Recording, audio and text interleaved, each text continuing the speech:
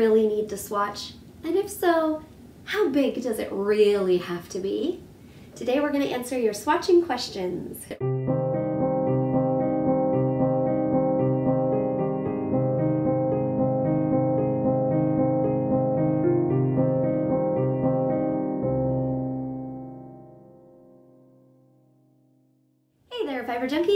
Welcome back to the Color Cauldron. I'm Johanna, the owner and dyer behind Potion Yarns and host of this podcast. Today we are going to answer some questions that I have been getting recently about swatching. If you're a knitter or crocheter with even a tiny bit of experience, most likely you have come across the dreaded word swatching. Maybe it's not a dreaded word to you. Some people are actually lucky enough that they enjoy the swatching process. They're patient enough, precise enough, um, calm enough, whatever it is, they're just into the whole process and they enjoy the swatching process. And kudos to them, good for them. I wish I could be more like that. But I believe that I fall into what is probably a more populated category of crafters who really would like to just skip that dreaded swatch and get right to their project. Today we're going to talk about some tips for swatching, uh, what you absolutely need to do, some things that you can kind of cheat on and skip, or um, other other areas that you can maybe hasten that process a little bit. But I wanted to talk to you guys a little bit first about what swatching is and why it's important. So if you're not familiar, swatching, which is also called a tension swatch or a tension um, or, or a gauge swatch, uh, I've heard it referred to as a tension swatch, a gauge swatch, or just swatching in general uh, from various different patterns and books. So whatever you call it, basically it's like a practice. It's knitting or crocheting up a little sample shape, usually a square or rectangle, um, but some kind of a sample shape of your project. So if you're going to be knitting a sweater, you're going to knit a little square or rectangle first that is going to be like a mini version um, without all the shaping and sleeves and all of that. It's just a little bit of knitting or crochet in order to help you figure out um, how tight or how loosely you are crafting, to figure out what needle or hook size you need to use, how much yarn it's going to take, etc., etc. There are lots of reasons why you would want to swatch. And the most common reason is because you have a pattern to make something, let's say it's a sweater, and you want it to come out as close as possible to the original, right?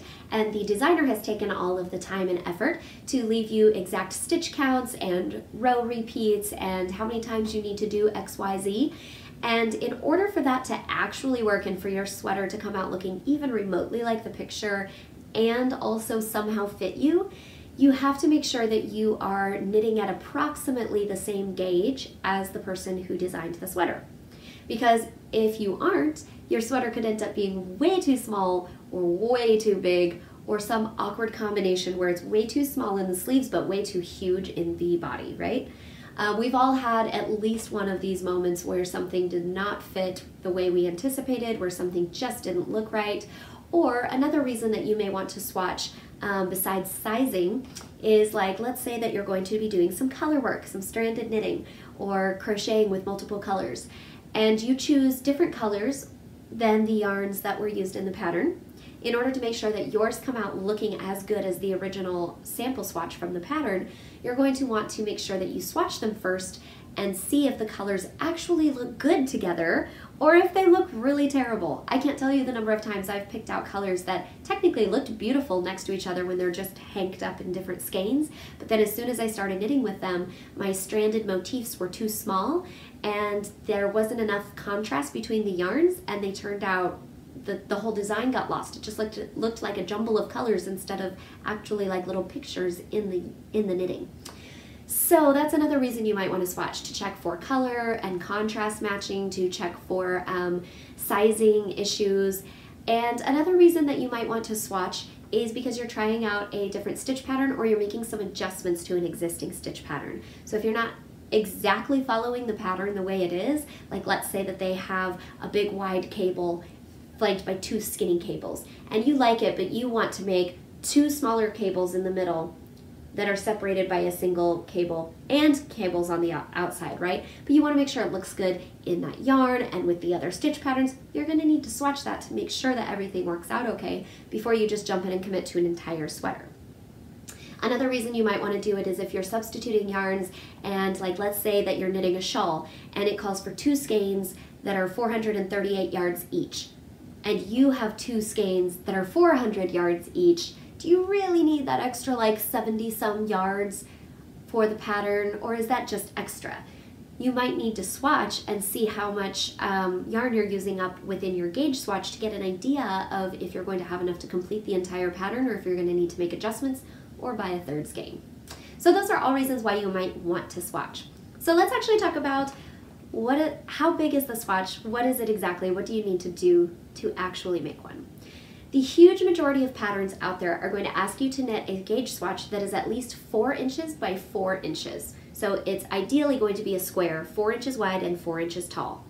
However, most gauge from patterns are set across four inches. So to actually measure your gauge swatch, I have one here, I'll show you.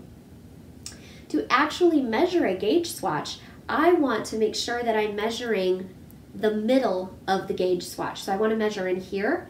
I don't want to measure on the edges.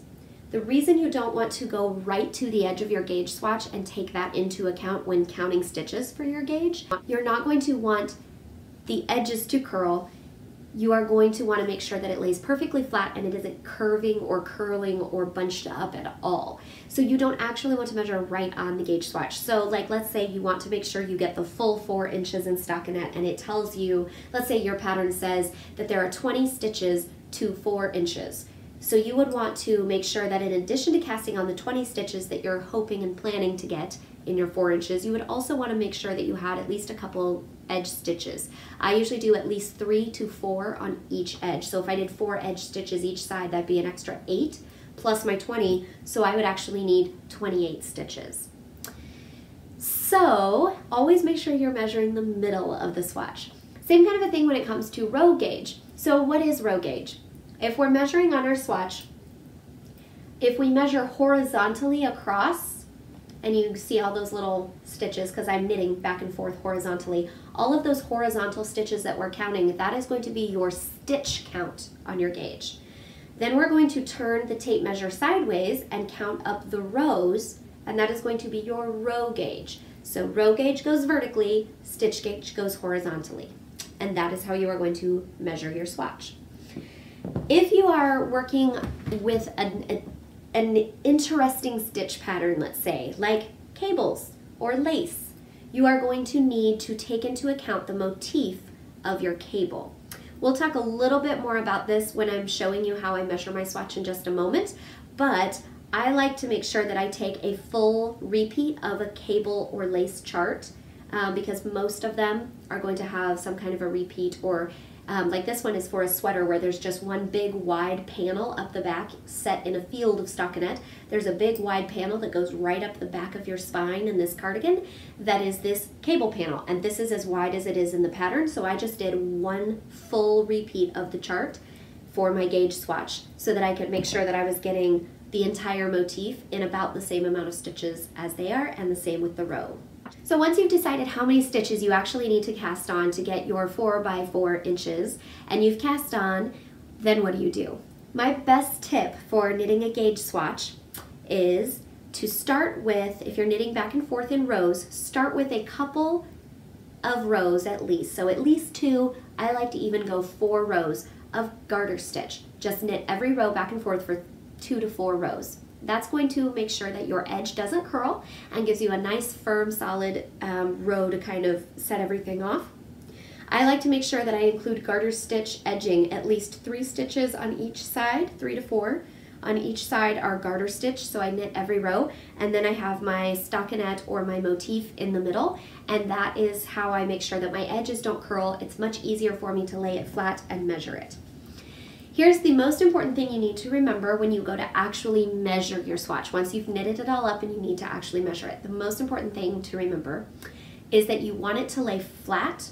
So as much as it is fun to just cast right on in your project, knit your gauge swatch as small as possible, um, don't spread it out on your knee like so and then try to measure just an inch or so that's not really not going to work out best. If at all possible, if like if you're on a plane or something, at least get a magazine or a book or your little fold out tray, put it on that so that you can lay it flat as much as possible. If you have any kind of like flat surface, like a laptop or the fold out tray or a book.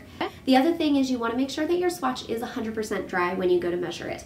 If you are going to block your finished project, like let's say it's a lace project, almost all lace is going to need to be blocked at least a little bit, if not fairly aggressively. So whatever you're going to do to your finished project, you need to do that to your swatch. If it's a lace shawl and you're going to have to block it pretty aggressively and stretch it pretty hard to open up the lace and show off the motif, then you need to do that same kind of vigorous blocking to your swatch. If it's a little garter stitch cardigan and it's just super, super simple, all garter stitch, and you don't really need to worry about blocking anything because you knit it in the round, um, then you don't need to block your swatch. So always take into account how you're going to treat your finished object. If you're not going to block the finished object, you don't need to block your swatch. If you're going to block it extremely lightly, then just block your swatch extremely lightly. Do a quick little steam block or something like that. If you're going to uh, have to block it aggressively, you have to block your swatch aggressively. Now there is another trick that someone has given me. I have never personally done this, but um, it sounds like a good idea. I have actually heard of knitters who once they finish their swatch, they will um, cast it off or put it on waste yarn or something, and um, they will wash it, do whatever they're going to do to their finished object, whether laying it flat or hanging it up or whatever they're going to do, and then they will take it with them in their purse or hang it up on a hanger and just let it hang especially if it's like a garment that's going to hang from your shoulders, like a cardigan or something, they'll let it hang for a few days to a week just to see if it stretches out anymore, how it does with wear and tear, like getting in and out of their purse and or being in their pocket all week long. Um, some people really think that this helps you determine the sturdiness, the hardiness of the yarn, and whether or not it's going to grow. I would say the most important time to do that is when you are working with a fiber that is known for growing, i.e. 100% or large amounts of cotton. Cotton always, always, always seems to stretch. It is very, very, very um, stretchy, but it does not bounce back the way wool does. So once it stretches out, it's stretched out. So if you make a, an all cotton cardigan and it's hanging off of your shoulders and it's real heavy, after the first time or two of wearing it, you're going to find that your waist length cardigan is suddenly becoming like a tunic type sweater dress almost. Um, so you're going to want to make sure that you are being careful of that when you make your yarn selection for your projects. But if you're knitting with wool or if you're knitting with like acrylic that bounces back pretty easily, things like that that don't lose their shape, you don't really need to worry about doing that. I've never done it. Phoebe, goodness gracious girl. Somebody likes to play with my swatches. Let's actually take a look at how we measure it. To measure your swatch, you're going to want to make sure that you have it on a flat surface. So I have put out one of my blocking mats on my dining room table so that it's perfectly flat and I'm not trying to balance it over like my knee or something. And uh, you do not have to pin it like I've done here, but it really does help, especially if you have fabric that is curling. You will want to make sure you block your swatch if you are going to block your finished item, however you would treat the finished item when you're done with it, whether you're blocking or um, washing or anything, you will want to make sure that you do that with your swatch first and wait till it's completely dry. I have not blocked mine actually, but um, it wasn't curling much because I put a nice garter edge on it and um, it was laying pretty flat. So I have just stretched it out dry, but made sure not to pull it apart. So it's not stretched out, it's just laying flat. And I like to use a flexible tape measure, but I have used a ruler before in a pinch, and you can definitely do that if you need to. To measure it, once you have everything planned out, you're gonna want to go for the middle. And most swatches are gonna have you measure over four inches, but you basically just want to make sure that you are not um, measuring on like a curved line. Like don't try to like curve your tape measure. You wanna lay it nice and flat. Pick your spot, and then I'm gonna count here. One, two, three, four, five, 6, 7, 8, 9, 10, 11, 12, 13, 14, 15, 16, 17, 18, 19, and 20. So I'm getting 20 stitches to 4 inches. So if we divide that by 4, that would be 5 stitches to the inch in my stockinette section. Now, if you are working over um, a cable panel, it is easiest if you look at your chart and you figure out how long your cable repeat is. Um, so in my chart that I have, um, Mine was um, 38 stitches wide. So it from each garter border, I have 38 stitches in the middle.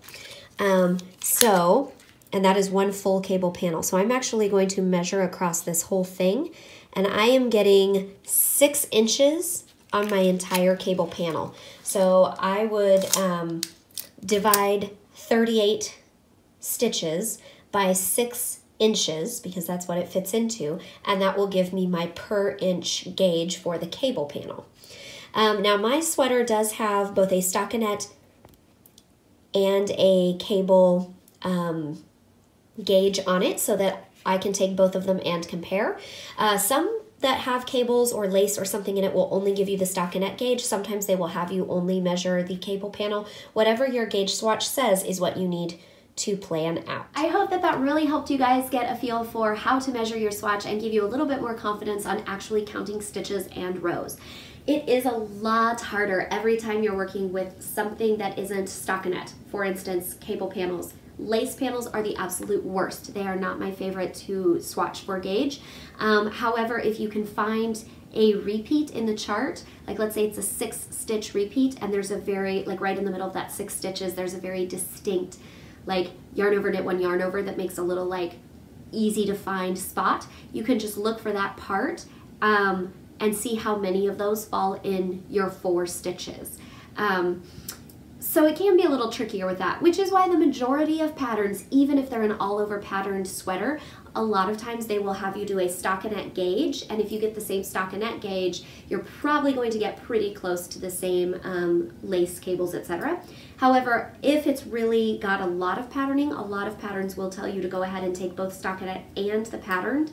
And I think if you're doing a garment that's going to be worn, it's really important that you do go ahead and swatch both as much as possible because your gauge can actually change whether you're knitting stockinette or like a lace panel or cables or whatever. The other thing that's really important to keep in mind is if you're going to be knitting your project flat, back and forth in rows, you should knit your swatch flat. If, however, you're going to be knitting, let's say you're knitting a pullover um, and your sweater is going to be a pullover type, no buttons or zippers or anything, just a shirt and it's going to be knit in the round in one piece, no sewing. You're going to want to knit your gauge swatch in the round, which means it's only going to be half as wide as it was. Now there's two ways that you can get around this. There's the cheater way and there's the actual really good way. The first way, the cheater way, is let's say you need to knit a 4 by 4 inch swatch and you need to knit it in the round because that's what you're going to be doing with your project. You can choose, okay, I need four, let's say it's again the gauge that was 20 stitches to four inches. So you know you need at least 20 stitches around. And let's say we're going to add two extra stitches on each side, so an extra four stitches. We want 24 stitches. So you cast on 24 stitches, you join in the round, and you knit it up like this. Then when you go to lay it flat, you're only going to be measuring two inches, not four. This is the cheater way because it means less work up front, and um, you don't have as much width to measure over. You've only got two inches to measure over as opposed to four. I'm not going to tell you it doesn't work, but I am going to tell you, because I've done it lots of times and it's most of the time worked out pretty well for me. However, I am going to tell you there's a reason this is the cheater way, not the best way to do it. It really is not the best way. Ideally, if there's any possibility that you can just grind your teeth and force yourself to like cast on the extra stitches, it is so much more worth it to cast on the extra stitches and do the four inches flat, which means that you would need eight inches around. So if you're going for um, 20 stitches is four inches, you'd actually want to cast on 40 stitches, join it in the round, and then you should be able to measure your four inches across one side. That's ideally best. Why is it better to knit a larger gauge swatch? The answer is because there's more variation over larger pieces. So if you're measuring over four inches, this is why we don't just measure one inch. You can do that, but it's quite likely that you're going to be like a part of a stitch is going to be right on that one inch marker. Whereas if you go up to four inches and you measure all of the stitches within your four inches, then that really helps you to get a, a bigger picture. It's kind of like taking a larger sampling of something to get a more likely result. Like when they do a medical study, they don't just test three people, right? Because three people doesn't really give us a majority of what's going on. I don't even know if there are specific numbers that they have to have, but it wouldn't surprise me if there are. And I know that the more variety in people that they test, the more widely received these or, or better received this scientific studies are because they're testing a broader group of people so they can more accurately say the majority of people experienced these side effects or whatever. Same thing with your gauge swatch. Just the bigger swatch you have, the more likely you are to catch any anomalies or weird things that happen so that you can make sure that you are actually getting gauge and you're not so likely to get off a little bit. Here's the thing about gauge swatches. Let's say that you're going for the pattern that tells you you need 20 stitches to 4 inches. Let's say that you actually, um, you do the cheater swatch and you only do 2 inches, right? So you should be getting 10 stitches to 2 inches. But let's say that you're actually getting like, let's say you're getting 6 stitches to 2 inches. That's 4 stitches off. That's a pretty big difference. Let's say you're only doing 8. So you're only 2 inches or 2 stitches off. And you're like, that's close enough. 8 stitches, 10 stitches, is that really going to matter? In a 2 inch swatch, no, it's not going to make a huge difference. But let's say that your bust is 40 inches around and you're a stitch per inch off. That's going to make a huge difference when you are when you have an extra stitch per inch and now you've got 40 inches going around that bust you have 40 extra stitches that's going to turn into a lot of extra width. Your sweater is going to be swimming off of you and you are going to look like you are a little kid playing dress up in mommy's clothes right? So this is why it's so important to get gauge. If you are off even a fourth of an inch, it's going to really magnify on a larger scale in your finished project. Again, now if you're knitting like a baby sweater and it's really, really teeny tiny, then if you're like a quarter of a stitch off in your uh, stitch count, it's not going to matter that much in the big scheme of things because the whole sweater is what, six inches or whatever it is. Um, you're not going to need a ton. But on a larger sweater on most of your other projects, it is actually going to be a pretty big difference. And anything that you need to have negative ease to fit you really, really tightly, like socks, it's going to make a big difference. Okay, so let's go over some cheater ways that you can make swatching a little bit less miserable. There are several little tips I have for you if you're one of those people like me who's like, I don't want to swatch, I just want to get right to the thing. The first thing is not so much a tip as just a reminder that will psychologically help you to hopefully think about it differently. If you are used to knitting with nicer yarns, or maybe you're not used to it yet, but you have like one or two very special indie dyed yarns and you've just invested 30 some dollars or $40 in a skein of really fabulous yarn and you want to knit a project out of it, just think about spending hours of your time and 30 or 40 dollars of your money on this one single skein and you're going to invest hours and hours knitting something really special and it's going to look terrible or it's not going to fit. Wouldn't you feel upset? I can't tell you the number of times that that kind of thing has happened to me. I've spent a lot of money on a really nice yarn in a sweater quantity to make myself a pullover or a cardigan or something. I knit it all up and it doesn't fit and it looks awful because I either didn't do my swatch or I rushed through it and didn't do all the steps I was supposed to. And I just wasted hours of my time and sometimes wasted some yarn if it's really, really hard to frog like mohair or something that sticks sometimes it's just not very easy to get it back out and redo it. So think about that the next time you're tempted to skip your swatch and remind yourself that you really should swatch because it'll save you hours of frustration and taking things out, lots and lots of crying and or cussing and or drinking, whatever it is that you do when you're discouraged and angry at your knitting. It'll save you all that time if you just do your swatch to begin with. It really is insurance in the long run. Okay, if that still hasn't stopped you, let's talk about some ways that you can cheat. First off, Projects that don't require swatching are projects that don't need to fit perfectly. For instance, scarves. I've never swatched a scarf in my entire life because a scarf is just a long swatch that you just keep going on. So if you don't like something, you can just take it out. You can usually tell fairly quickly and fairly early on. You can take it out, redo it, and we don't need to swatch for that, right? The only thing you need to do is as you're knitting, you hold it up or try it on occasionally and see if it's long enough, wide enough, etc. Same kind of a thing for shawls. Any type of shawl a pie shawl, a crescent shawl, a half moon shawl, a triangular shawl, whatever it is, whatever kind of shawl you're doing, a square or rectangle, you don't need to swatch for shawls. The only reason you would need to do that is if you're doing some kind of a stranded shawl or an intarsia shawl and you're not sure that your colors are going to look right together or that you are going to like these colors in that motif. That's the only reason why you might need to swatch. The only other time I could think of might needing to swatch on a shawl is again if you aren't sure that you have enough yardage because you're substituting yarn and you want to make sure that your colors and or your yardage is going to work, you might want to do a a swatch then. But I've never swatched for a shawl or a scarf or anything like that that wasn't an exact fit. A hat is another one that you probably don't need to swatch for. The only thing you might need to do, because hats do need to fit, the majority of hats are made in either one size fits all or one of like two or three general sizes will fit most most people. Like there'll be like a children's size, maybe like baby, older child, woman small, and a man, which is a large. And it's usually like two to four sizes and you just kind of generally go for those. So again, hats you don't usually need to swatch for. Um, and if you do, I generally find that swatching is a waste of time with a hat. I just start on the brim or wherever you're supposed to start the hat, knit for a little ways, and then try it on part way or measure it part way and just see, and then take it out if it's not adding up to the measurements that I needed it to. Because honestly, I feel like a swatch is a waste of time with a hat.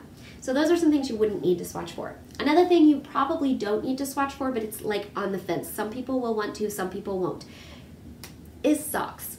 If you have never knit socks before, you might want to go ahead and do a swatch.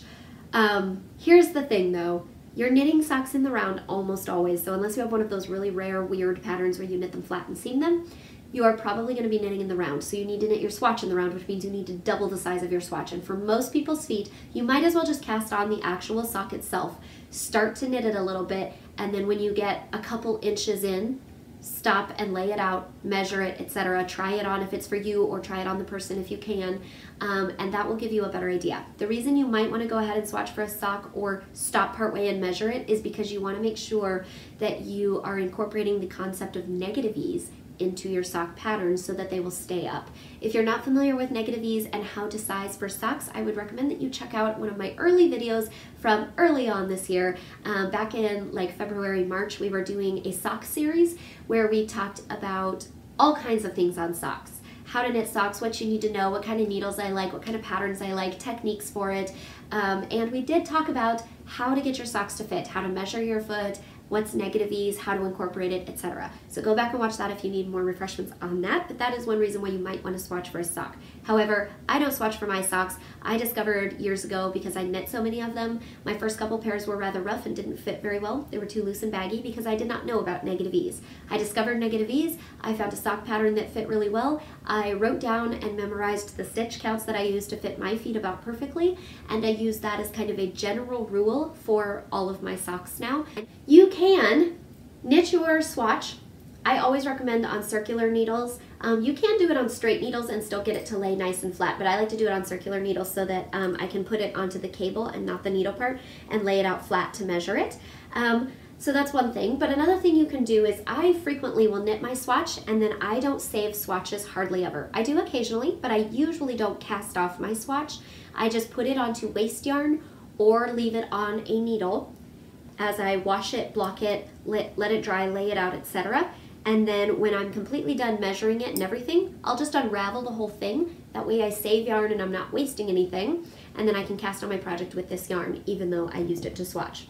That is one of my little tricks for uh, swatching. It's especially good if you're nervous about running out of yarn. Do not waste your yarn on a swatch. Still do your swatch, but don't cut it, cast off, etc. Just measure it while still on the needles or put it on waste yarn and measure it and then unravel it and reuse that yarn for your project. There's nothing wrong with that as long as you take the time to do your swatch ahead of time, make sure you're blocking it, and make sure you're measuring it. There's absolutely no reason why you can't just unravel that and use that. I do it all the time. That's one of my favorite things to do. Sometimes you will want to save your swatches, either just as, I know some people save their swatches in like a little notebook or a box of like knitting memories. They'll keep notes about their sweaters with their swatch next to it so that they can see the yarn they use, the color, they'll keep the ball band in there.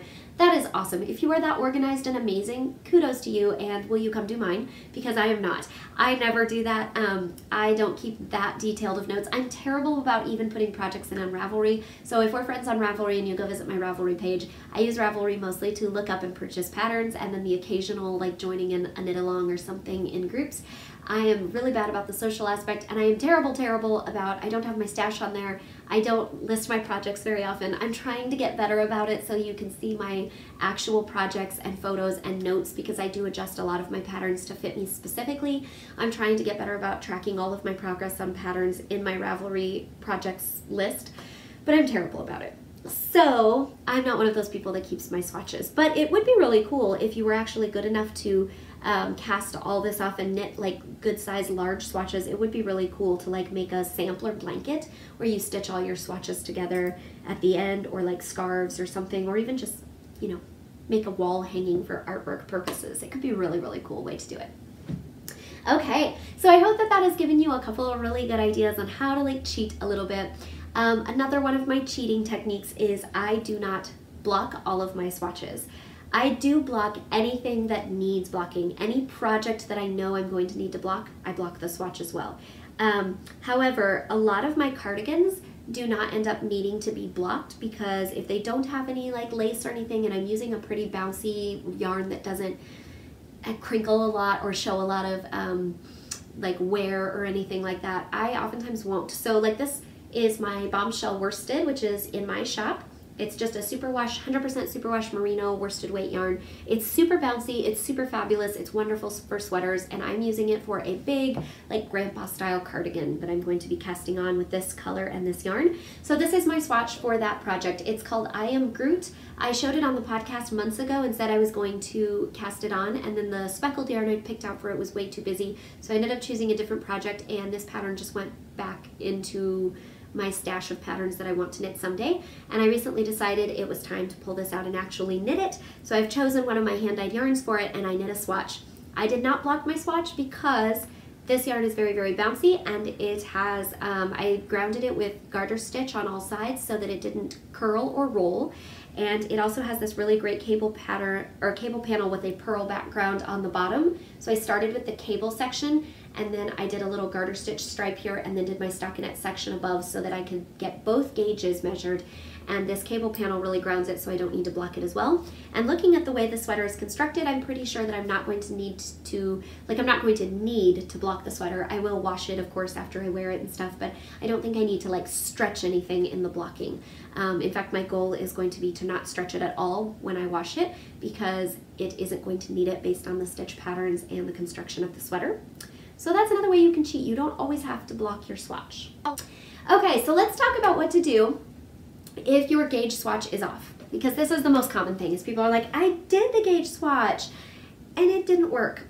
so let's say that your pattern says you need to have 20 stitches to 4 inches in stockinette stitch and they tell you to use a size 6 needle, say. Let's say that you grab your size 6, you knit up your swatch, you do exactly what you're supposed to do, follow all of the tips I give you in this video and everything you find online, and your gauge swatch is actually 22 stitches to 4 inches. So you have two extra stitches in there, right? What do you do? Or maybe it's under. What if it's only 14 stitches instead of 20 or 16? What are you going to do? So you need to keep in mind that the easiest thing to do is just to change your needle size, but that's going to require you to knit a new gauge swatch. So there are two options here. You can either change your needle size or you can adjust your stitch count. Sometimes I like to just, if I like how the fabric looks the way it is, I will just adjust my numbers. This happened to me um, actually recently. I knit a gauge swatch on a size 2 needle for a little vintage style sweater. My gauge was significantly off and um, I knit a gauge swatch in a size 4 needle to see if I could get it closer. And I did get it closer, but it was still off and I looked at the size 4 fabric and it was very loose. And I was like, with the yarn that I chose, that has a very high silk content and very drapey and is got a lot of texture to it, it looked terrible when it was all like loose and whatever. I really liked the size 2 fabric much better because it was tighter. It held that drapey silk yarn in a little bit more, gave it more structure. I much preferred the tighter gauge than the loose drapey 4 size 4 gauge. So I decided to jigger my numbers and go with the size 2 that I originally knit my gauge swatch with and just do all of the math differently. So I wrote down what my gauge was on a size 2 and then every time it would tell me like cast on so many stitches, I would check my numbers with my actual gauge on the size 2 and then I'd go up or down as needed to make the sweater fit to my gauge size. And that way I'm much happier with the finished result. If I had knitted on the size 4, it would have been very, very loose of a fabric instead of really nice, nice and tight and elastic. Um, and the way it's knit, uh, it's a vintage style sweater, so you knit with negative ease so that it really hugs your body. And it looks much, much better on the size 2, and it feels more elastic to me as well. So that's something you need to keep in mind. Is if you like the pattern, the fabric of the swatch the way you have it, even if your numbers are off, it's really a better choice to just change the numbers and do some math. And there's plenty of resources out there. This is not the video for that. We'll go over that more later. But change the math and um, go with the needle that you like the results of. But let's say that you're not married to this the results of what you did. You're like, okay, the size six was fine, but I'd really rather not have to do all the math. You are going to need to either go up or down depending on how many stitches you have. So let's say that you actually got 16 stitches instead of 20 to your four inches on your size six needle. If you need to get to the 20 stitches per four inches, then you need to change your needle size. If you have fewer stitches, that means that your stitches are bigger, right? You're getting only four stitches to the inch instead of five stitches to the inch because you're, you're think of it as like your stitches are too fat. They've got their arms out like this, so nobody's getting by their little elbows, and you need them to put their elbows in and get skinnier, right? So if that's the case, if your stitches are too big, you're going to need to go down a needle size or even two. So if you are at a size six, you'd want to try a five or even a four for your next swatch and see if you can get more stitches in your gauge swatch that way. Let's say you have the opposite problem. Let's say you got 22 stitches and your stitches are, are just too skinny, so you're getting more stitches in your gauge swatch. If your stitches are too skinny, you have more than the number you need, you need to go up a needle size because you need to get your stitches to fluff up a little bit and stick their elbows out so they're a little bit fatter, right? So you need a bigger needle. So if you were working on a size 6, you'd want to go up to at least a 7 if not an 8. So hopefully that will help you guys when you're doing your swatches. I hope that took some of the misery out of it. Sometimes if we just understand the why behind what we're doing, that's enough for us to break down resistance right then and be like, okay, there is a good reason for this. I'm not just doing this because some asinine, mean party pooper designer forced me to do it because that's what everybody says to do. It's not like that. When you finally understand what's going on and you realize that you have control over it, it can actually be kind of fun to swatch. Um, but not gonna lie, I still don't like it. I will say I had a lot of fun doing this one because it's worsted weight and I typically knit with more fingering weights and so it went really fast. I just turned on um, some YouTube videos that I wanted to listen to. I was listening to a podcast on YouTube, where one where I could mostly listen and I just sat there and knit my swatch while I was watching my podcast and it was great. So try to do something fun that you like. That is uh, the other thing that I have for our swatching video before we finish off for today is some other little tips to hopefully make it more fun. First of all, do something you like while you're doing it. So watch uh, watch some Netflix or watch something on YouTube. Listen to a podcast or an audiobook that you are really excited about.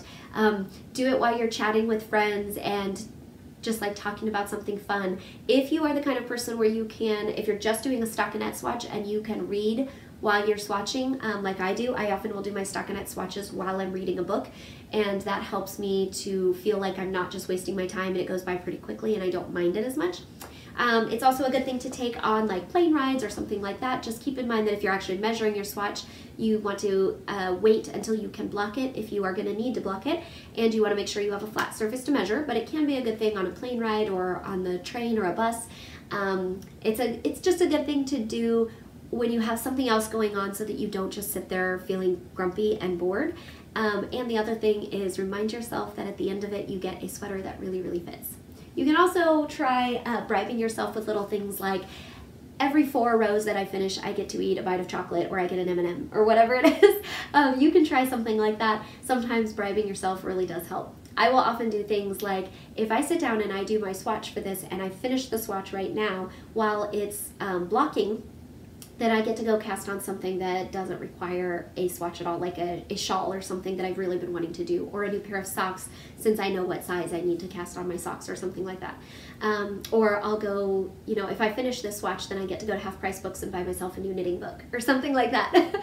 um, so bribe yourself if necessary. It can work, and why not? Then at the end you get a sweater that fits and you actually did your swatch. So I, I'm not above bribing myself to make things happen. Okay, I hope that took some of the misery out of it for you. Happy swatching. Um, please leave me a comment below if you have any additional questions. I'll do my best to answer them. I really am not the knitting guru who knows everything under the sun. I really am not. But I do enjoy studying and learning, and I use as much from my own experience as I can. And then whenever you guys ask questions, if there's something I don't know, I do my best to go up and look look it up, ask other people, get input. And I love that um, if you guys leave a comment on here and you have a question, sometimes another person commenting will see your question and they'll know the answer, even if I don't, and they will give input as well. So I love to get everybody's input, helping me to expand the education and um, fun community spirit that we have here among us fiber junkies. So thank you guys for contributing. Give this video a like and don't forget to share it with your friends. If you haven't already, tap the subscription bar um, and make sure that you hit the bell and turn on the notifications because if you just subscribe, don't click the bell. It's not going to tell you when the new videos come up. So you need to click that bell in order to still get notifications every time there's a new video. I hope you guys have a great rest of your week. Happy swatching and it is now time to cast off. Love you.